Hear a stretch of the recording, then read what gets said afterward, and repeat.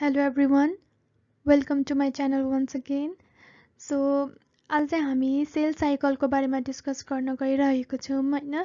So sale साइकलको अन्तर्गत हामी mitosis meiosis पनि हामी पढ्नेछौँ होइन?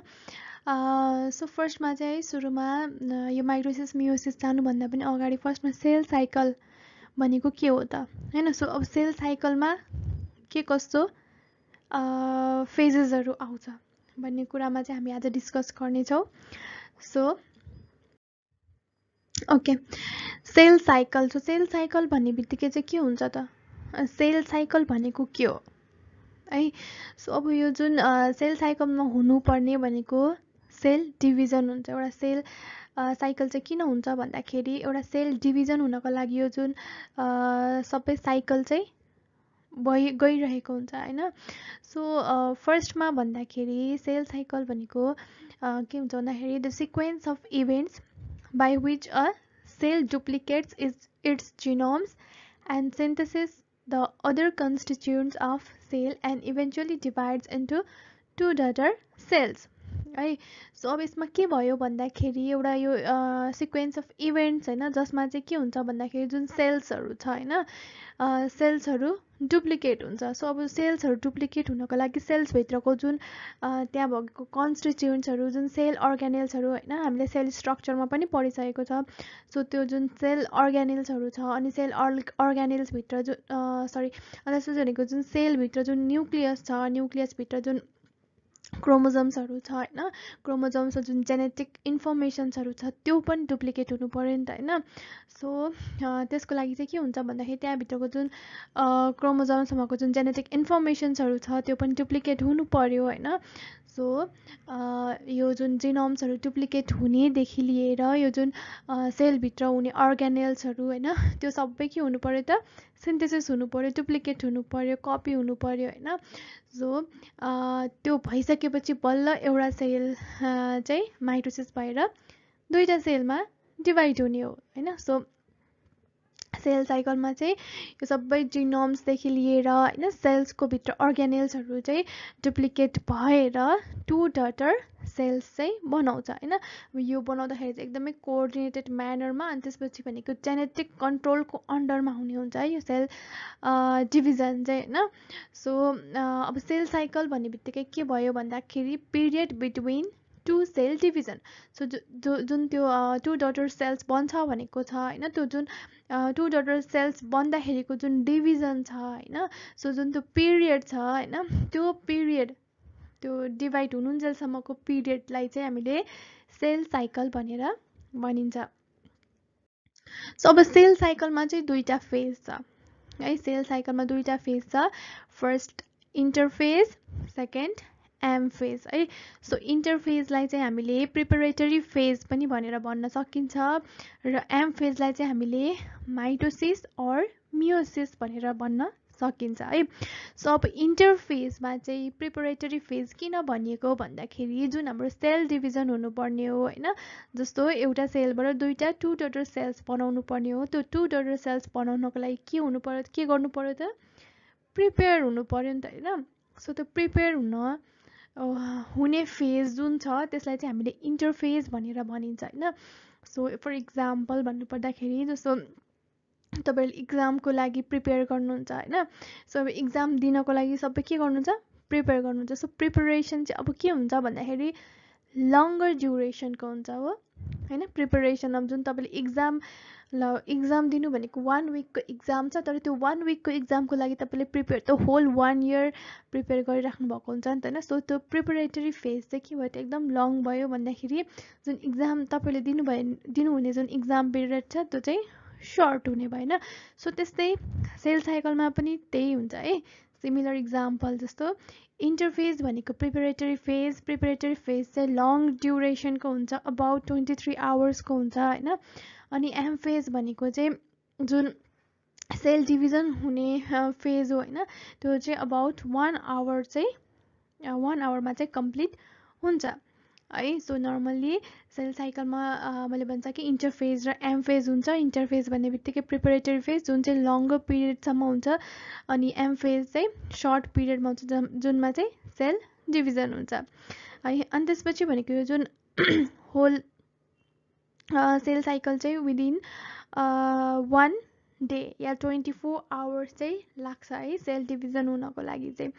सो त्यसको साथसाथै अब तपाईँहरूले चाहिँ के थाहा पाउनुपर्छ भन्दाखेरि अब यो जस्तो माइटोसिस मियोसिस भनेर भनेको छ एम फेजमा होइन? सो अब यसमा चाहिँ के हुन्छ भन्दाखेरि जस्तो माइटोसिस भनेको चाहिँ हाम्रो जुन सोमेटिक सेल्स हाम्रो ह्युमन बिङ्समा के हुन्छ त? सोमेटिक सेल्सहरू हुन्छ होइन? जस्तो स्किन्सहरू भयो होइन? अनि गट सेल्सहरू भयो तिनीहरू चाहिँ माइटोसिसको थ्रुबाट हाम्रो डिभाइड हुन्छ भनेको हाम्रो होल बडीमा जुन अब प्राय जुन मल्टिप्लाई हुने जुन सेल्सहरू छ होइन? त्यो चाहिँ हाम्रो माइटोसिसको थ्रुबाट डिभाइड हुन्छ भनेदेखि सो हाम्रो जर्म सेल्सहरू छ जस्तो ओभा स्पर्मेटोजोआ होइन? सो ओभा र स्पर्मेटोजोआ चाहिँ के हुन्छ भन्दाखेरि यो चाहिँ मियोसिसको थ्रुबाट डिभिजन हुन्छ है? सो यति कुरा चाहिँ ध्यानमा राख्नु होला माइटोसिस र मियोसिसको डिफ्रेन्स भनेको माइटोसिस भनेको हाम्रो सोमेटिक सेल्समा चाहिँ डिभिजन हुने हुन्छ होइन। सो माइक्रोसिसको थ्रुबाट डिभिजन हुन्छ भनेदेखि हाम्रो जुन जम सेल्सहरू छ जुन स्पर्मेटोजवा ओभाहरू होइन त्यो चाहिँ के हुने हुन्छ? मेलको स्पर्मेटोजवा फिमेलको ओभा चाहिँ मियोसिसको थ्रुबाट डिभाइड हुन्छ।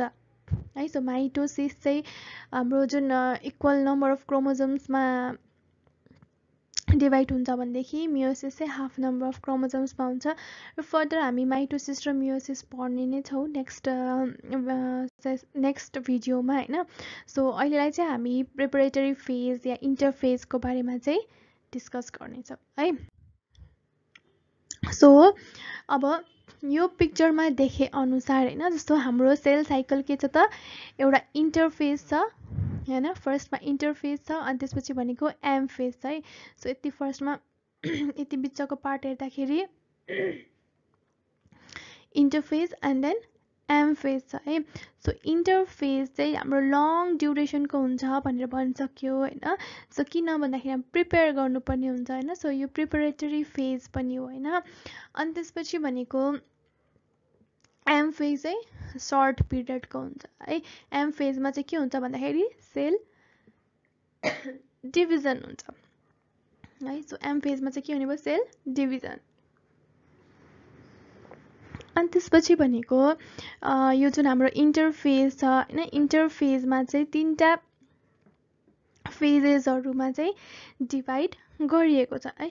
सो फर्स्टमा अब यो जुन इन्टरफेस छ होइन इन्टर फेस एउटा मेटाबोलिकल्ली क्वाइट एक्टिभ हुन्छ यसमा चाहिँ जुन अर्ग्यानिल्सहरू छ कपी हुन्छ होइन। जुन हाम्रो सेलको अर्ग्यानिल्सहरू हुन्छ नि जस्तो यो सेलभित्रको यो जुन अर्ग्यानिल्सहरू छ यो अर्ग्यानिल्सहरू कपी हुनेदेखि लिएर एनर्जीहरू स्टोर गर्ने होइन। अनि यो जुन सबै अर्ग्यानिल्सहरू कपी हुने भनेको चाहिँ हाम्रो केमा हुन्छ भन्दाखेरि यो इन्टरफेजमा हुन्छ है। है सो इन्टरफेजमा के हुने भयो? प्रिपेरेटरी फेज भन्ने बित्तिकै सबै कपी गर्नेदेखि लिएर स्टोर इनर्जी स्टोरहरूदेखि लिएर होइन? सो त्यो चाहिँ इन्टरफेजमा हुन्छ भनेदेखि सेल चाहिँ दुईवटा डटर सेल्समा फर्म हुने भनेको सेल डिभिजनमा चाहिँ सेल डिभिजन हुने भनेको चाहिँ यो हाम्रो एम फेजमा हुन्छ। सो अब इन्टरफेजमा चाहिँ तिनवटा फेजेसहरूमा डिभाइड गरेको छ। सो फर्स्टमा छ जीवान फेज सो जीवान फेजलाई चाहिँ हामीले ग्रोथ फेज या ग्याप वान फेज भनेर पनि भन्न सकिन्छ है। सो जी वान फेजलाई चाहिँ हामीले ग्याप वान फेज या ग्रोथ फेज भनेर भन्न सकिन्छ ग्रोथ वान फेज भनेर भन्न सकिन्छ भनेदेखि एस फेजलाई चाहिँ हामीले सेन्थसाइज फेज भनेर भन्न सकिन्छ है। सो एस फेज चाहिँ हाम्रो सिन्थेसाइज फेज हुन्छ जी टू फेज भनेको चाहिँ हाम्रो ग्याप टू फेज या ग्रोथ टू फेज भनेर चाहिँ भन्न सकिन्छ है। सो अब यो G one S G two फेजमा चाहिँ अब के हुन्छ भन्दाखेरि जस्तो जी वान ग्याप वान या ग्रोथ फेजमा चाहिँ के हुन्छ भन्दाखेरि यो टाइममा चाहिँ सेल्सहरू चाहिँ एकदम मेटाबोलिकल्ली एक्टिभ हुने हुन्छ होइन। अनि कन्टिन्युस ग्रो गरिराख्ने हुन्छ। है सेल्समा सेल्स जुन सेल्सहरू चाहिँ ग्रो भइराख्ने हुन्छ होइन? अनि त्यसपछि भनेको जुन यसमा चाहिँ प्रोटिन सिन्थेसिसहरू पनि अकर हुने भयो। सो यो फेजमा चाहिँ जुन प्रोटिन सिन्थेसिसहरू चाहिँ कन्टिन्युस हुने भयो यो प्रोटिन सिन्थेसिस भएर चाहिँ यो सेललाई चाहिँ डिभाइड गर्नलाई हेल्प गर्छ यो जुन प्रोटिनले चाहिँ होइन? सो त्यही भएर यसमा चाहिँ कन्टिन्यू प्रोटिन सिन्थेसिस भइराख्ने भयो भनेदेखि मोस्ट अफ दि जुन सेल अर्ग्यानिल्स छ यहाँभित्रको सेलभित्रको जुन मोस्ट अफ दि सेल अर्ग्यानिल्सहरू छ त्यो चाहिँ त्यसको नम्बरहरू चाहिँ इन्क्रिज हुने भयो होइन? ताकि यो एउटा सेल चाहिँ दुईवटा सेलमा इक्वल्ली डिभाइड होस् होइन? सो एउटा बुकलाई एक्ज्याक्ट कपी गरेको जस्तै हुन्छ है। सो यसमा पनि सेललाई एक्ज्याक्ट कपी गर्ने हुन्छ। तर अब यो ग्याप वान पछि चाहिँ के हुन्छ भन्दाखेरि यो जुन जी जेरो फेज भनेर देखाएको छ होइन यसमा चाहिँ के हुन्छ भन्दाखेरि जस्तो ग्याप वान फेज भइसकेपछि चाहिँ सम सेल्सहरू चाहिँ होइन जस्तो कन्टिन्यू ग्रो भइरहेको छ एस फेजमा जान्छ होइन जी टू फेजमा जान्छ कन्टिन्युस ग्रो भइरहेको छ मोस्ट अफ द सेल्स होइन तर अब कुनै कुनै फेज चाहिँ सरी कुनै कुनै सेल्सहरू चाहिँ के हुन्छ भन्दाखेरि त्यो सेल्सहरू चाहिँ डिभाइड नै हुँदैन के? है? सो अब त्यो सेल्सहरू चाहिँ डिभाइड नै हुँदैन होइन? जस्तो अब कस्तो फेज भनौँ भन्दा जस्तो न्युरोन्स होइन? ह्युमन सेलमा जुन हाम्रो न्युरोनहरू छ होइन? न्युरोन सेल्सहरू छ होइन? त्यो चाहिँ के हुन्छ भन्दाखेरि त्यो चाहिँ फर्दर डिभाइड हुँदैन है? सो त्यो फर्दर डिभाइड हुँदैन। अनि त्यसपछि भनेको बर्थ भइसकेपछि पनि हाम्रो न्युरोन्सहरू चाहिँ फर्दर डिभाइड हुँदैन। सो न्युरोन्सहरू जति छ त्यति नै हुने भयो होइन? सो न्युरोन्स डिभाइड हुँदैन अब न्युरोन्स डिभाइड नहुनुको कारण चाहिँ के हुन्छ भन्दाखेरि न्युरोन्समा चाहिँ जुन न्युरोनमा प्रेजेन्ट जुन न्युरोनको सेल्स छ होइन त्यो सेलमा चाहिँ के छ भन्दाखेरि यो जुन सेन्ट्रोजम छ होइन सेन्ट्रोजम चाहिँ प्रेजेन्ट हुँदैन होइन जस्तो सेन्ट्रोजमले के गर्छ भन्दाखेरि सेन्ट्रोजमले जुन हाम्रो स्पिन्डल फाइबर्सहरू चाहिँ निकाल्न थाल्छ होइन स्पिन्डल फाइबर निकालेपछि चाहिँ यो जुन न्युक्लियस छ न्युक्लियसमा भएको यो जुन क्रोमोजम छ त्यसलाई चाहिँ डिभाइड गरिदिन्छ अनि त्यसपछि दुईवटा इक्वल नम्बर अफ क्रोमोजम्समा डिभाइड गरिदिन्छ होइन सेन्ट्रोजमले तर अब यो सेन्ट्रोजम नै प्रेजेन्ट नभइसकेपछि यो जुन क्रोमोजम्सहरू डिभाइड हुने भएन होइन त्यसले गर्दाखेरि फर्दर ग्रोथ चाहिँ हुन पाउँदैन होइन। सो अब त्यस्तै कार्डियक मसल्समा जुन प्रेजेन्ट हुने सेल्सहरू छ त्यो पनि फर्दर डिभाइड हुँदैन होइन? सो अब त्यस्तो सेलहरू चाहिँ फर्दर एस फेजमा चाहिँ जाँदैन। सो त्यसलाई चाहिँ हामीले जी जेरो फेज भनेर भनिन्छ। यसलाई चाहिँ हामीले क्वेसन्ट फेज पनि भनेर भन्न सकिन्छ। क्युयुआइएससिई एन्टी क्वेसन्ट फेज भनेर पनि भन्न सकिन्छ है? जसमा चाहिँ सेल फर्दर डिभाइड हुँदैन है? सो यिनीहरू चाहिँ फर्दर सेल साइकलमा पार्टिसिपेट हुँदैन है जुन न्युरोन र हाम्रो कार्डियक सेल्सहरू चाहिँ। सो अब यो जी वान फेज भइसकेपछि मोस्ट अफ द सेल्स अब एस फेजमा जाने भयो होइन। सो अब एस फेजमा चाहिँ के हुन्छ भन्दाखेरि एस फेज भन्ने बित्तिकै हामीले के भन्यो? सेन्थेसाइज फेज है। एस फेज भन्ने बित्तिकै सिन्थेसाइज फेज भयो। सिन्थेसाइज फेजमा चाहिँ के हुन्छ भन्दाखेरि जुन हाम्रो डिएनए सिन्थेसिसहरू हुने होइन? अनि त्यसपछि भनेको डिएनए रेप्लिकेसन्सहरू हुने भनेको चाहिँ यो फेजमा हुन्छ। जस्तो यो जुन हाम्रो क्रोमोजम्समा डिएनए प्रेजेन्ट हुन्छ होइन? सो त्यो डिएनएहरू चाहिँ फर्दर सिन्थेसिस हुने अनि त्यसपछि भनेको रेप्लिकेट हुने होइन? कपी हुने डिएनएको कपी हुने भनेको चाहिँ हाम्रो एस फेजमा हुन्छ। अनि त्यसपछि भनेको जुन हाम्रो सेन्ट्रोजम छ होइन? सेन्ट्रोजम यो जुन सेन्ट्रोजम छ सेन्ट्रोजम पनि डुप्लिकेट हुन्छ। अब सेन्ट्रोजम जस्तो एउटा मात्रै भएर भएन नि त होइन? सेन्ट्रोजम ठ्याक्क दुईवटा अपोजिट पोलमा जानु पर्यो। अनि त्यसपछि भनेको यो जुन क्रोमोजम्सहरूलाई आफ्नो पोलमा तान्नुपर्ने हुन्छ होइन? सो सेन्ट्रोजम चाहिँ के हुने भयो भन्दाखेरि सेन्ट्रोजम पनि रेप्लिकेट हुने भयो। सेन्ट्रोजम पनि यो एस पेजमा चाहिँ डबल हुने भयो होइन? सो डिएनए र सेन्ट्रोजम चाहिँ यो डिएनए सिन्थेसिस अनि त्यसपछि भनेको त्यसको रेप्लिकेसन अनि त्यसपछि भनेको सेन्ट्रोजमको रेप्लिकेसन चाहिँ हाम्रो एस फेजमा हुने भयो है या सिन्थेसिस फेजमा चाहिँ हुने भयो। अनि त्यसपछि भनेको आउँछ एस फेजपछि भनेको जी टू फेजमा जान्छ है। सो अब जी टू फेजमा भनेको चाहिँ यो जी टू भन्ने बित्तिकै ग्याप टू या ग्रोथ टू फेज हुने भयो होइन।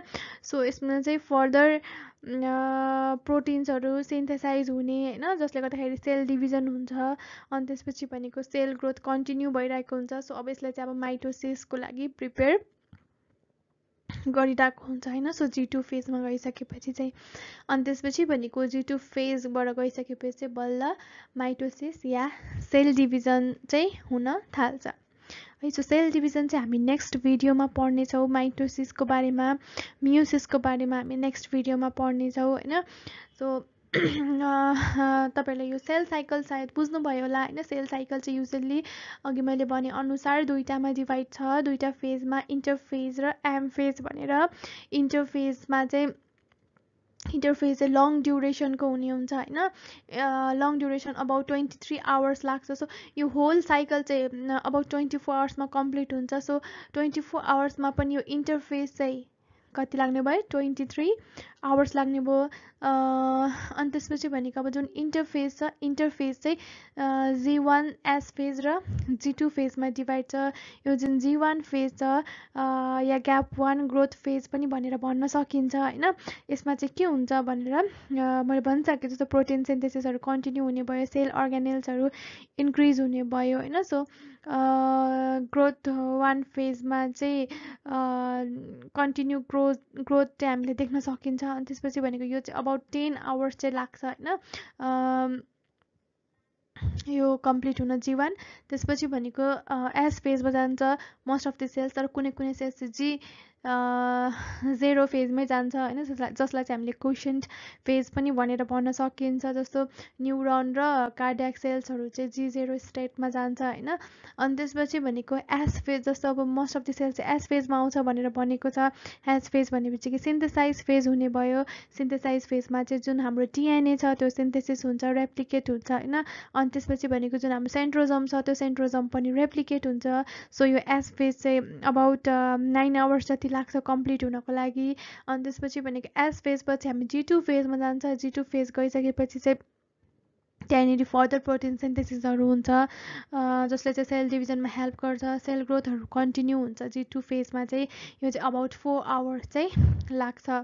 है सो इन्टरफेज चाहिँ यति यो जी वान एस फेज र जी टू फेजमा कम्प्लिट हुन्छ। अनि त्यसपछि भनेको एम फेजमा भनेको सेल डिभिजन हुन्छ। यो चाहिँ अबाउट वान आवर लाग्छ सेल डिभिजन हुनको लागि चाहिँ।